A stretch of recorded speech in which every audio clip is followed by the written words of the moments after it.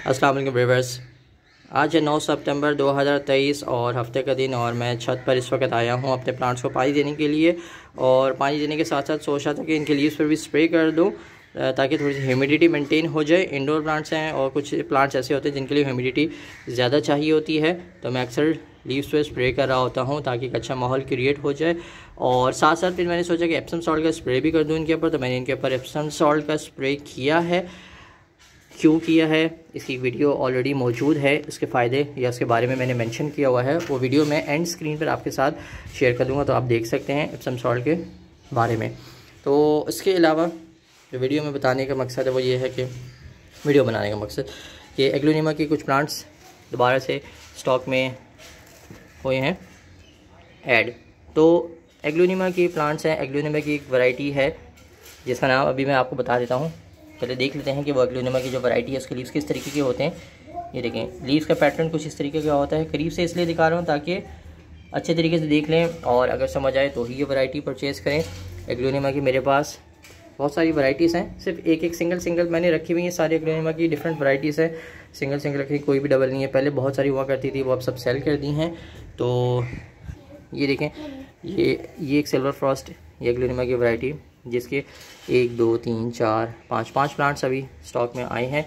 और ये सारे हैं, ये इस तरीके से ग्रो होते हैं। ये मैं आपको दिखा दूँ। एक पौधा है, ये ये स्टेम पे लीव्स फैलते हैं। इसका बड़ा प्लांट भी मेरे पास है। नेट से भी देख सकते हैं कि किस तरीके के होते हैं। तो ये प्लांट्स स्टॉक में आए हैं और अच्छे खासे सेट हुए हुए हैं और बड़े हैं, छोटे नहीं हैं। सिक्स इंचज़ के कंटेनर में भी हैं और एट इंचज़ के कंटेनर में और सेवन इंचज़ के कंटेनर में एक एक हैं। तो लीव्स का साइज़ भी देख लें। अच्छा खासा बड़ा है। तो ये प्लांट्स अवेलेबल हैं, जिनकी प्राइस सेवन हंड्रेड ईच एक पॉट कोई सा भी ले लें सिक्स इंचज़ का ले लें एट इंचज़ का ले लें, कोई सा भी ले लें सेवन हंड्रेड का एक है।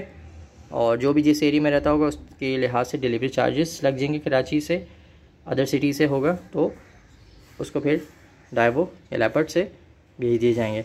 तो ये प्लांट्स कुछ अवेलेबल हुए हैं सोचा कि दिखा दूँ। और मज़ीद शायद की बात है, एक और आज वीडियो आ जाए या कल आ जाए एग्लोनिमा के प्लांट्स के हवाले से। तो ये आज की फ़िलहाल अपडेट है और साथ साथ इसी वीडियो में मैं आपको अपने दो खूबसूरत से प्लांट्स दिखा देता हूँ, जिनकी प्रोग्रेस बहुत अच्छी जा रही है। कॉमन प्लांट्स हैं। सबसे पहले तो ये दिखा देता हूँ कि फाइलोडेंड्रॉन माइकन्स इसके ऊपर मेरी तवज्जो ज़्यादा है। बहुत दफ़ा ग्रो किया है और इसको सोचा है इस बार बहुत अच्छे तरीके से ग्रो करना है। तो अल्हम्दुलिल्लाह इसकी प्रोग्रेस बहुत अच्छी हो रही है। इसका लीव्स का साइज़ बड़ा हो रहा है। अमूमन छोटे छोटे लीव्स के माइकन्स रखे हैं बड़े नहीं किए अब तक। तो इस बार टारगेट है कि इनको बड़ा करना और इनकी खूबसूरती हासिल करना तो अल्हम्दुलिल्लाह इम्प्रूवमेंट आ रही है। ये देखें। और यहाँ से एरियल रूट्स भी इसकी निकल रही हैं। ये देखें। इसको मैं कैसे मेंटेन कर रहा हूँ? जब ये अपनी एक अच्छी स्टेज पर आ जाएगा तो मैं इंशाल्लाह आपको मैं दिखाऊँगा कि मैंने इसके साथ क्या क्या एफर्ट्स किए हैं। ठीक है तो एक ये है और उसके साथ फिर आगे फाइलर एंड वन जाइजेंटियम अल्हम्दुलिल्लाह, ये भी बहुत अच्छा ग्रो हो रहा है। ये छोटे से कंटेनर में था, उसको मैंने बड़े में लगा लिया। तो बड़े में लगाने के बाद ही इसकी स्पीड में और वैसे भी परफॉर्मेंस में ओवरऑल फ़र्क आया है। ये इसके यहाँ से एरियल रूट्स बहुत सारी ज़बरदस्त तरीके से ग्रो हो रही हैं।